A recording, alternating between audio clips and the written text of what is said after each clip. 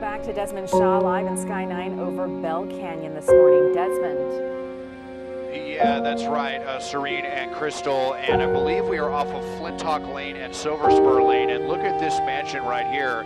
It's just incredible how not only was the home right next door spared, but palm trees uh, essentially on the same property that are, that are you know, only uh, a couple of feet away from the devastation uh, were completely spared as well. Now you can see the palm trees and these other trees. You see the fronds and, and the branches beginning to sway quite a bit.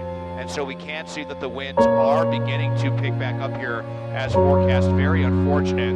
Uh, been seeing a lot of LA County Fire and LA City Fire uh, in the area here. They're posted at the very bottom of Bell Canyon, but uh, you just look at huge lot after huge lot uh, just completely destroyed. Uh, a lot of devastation in Bell Canyon.